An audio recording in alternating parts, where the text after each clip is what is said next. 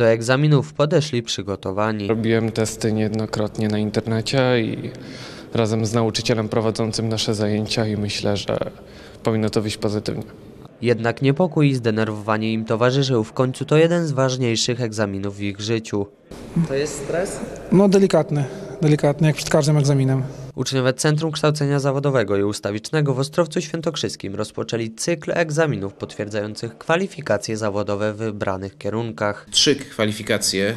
Kwalifikacja pierwsza A23 to jest projektowanie fryzur, M42 organizacja i prowadzenie procesu obsługi pojazdów samochodowych oraz klasyfikacja M44, czyli organizacja i nadzorowanie procesów produkcji maszyn i urządzeń. Do egzaminów podeszli też uczestnicy kursów zawodowych. Kursy dotyczyły m.in. pozyskiwania kwalifikacji umożliwiających korzystanie z obrabiarek skrawających.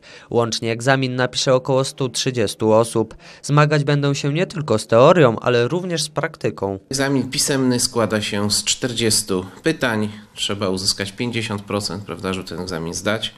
Natomiast egzamin praktyczny, który będzie w późniejszym okresie, y, trzeba zdać na 75%, żeby, żeby po prostu y, zaliczyć. Zdawalność egzaminów zawodowych z roku na rok jest coraz wyższa.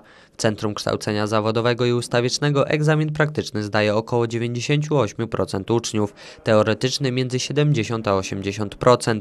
Uczniowie sumiennie podchodzą do egzaminów, wierząc, że z pozytywnym wynikiem łatwiej będzie znaleźć im pracę. Jest możliwość pracy nawet w okolicach y, I w województwie świętokrzyskim, żeby znaleźć dobrą pracę w tym zawodzie. Młodzi ludzie wyrażają też chęć do dalszego dokształcania się w swoich zawodach.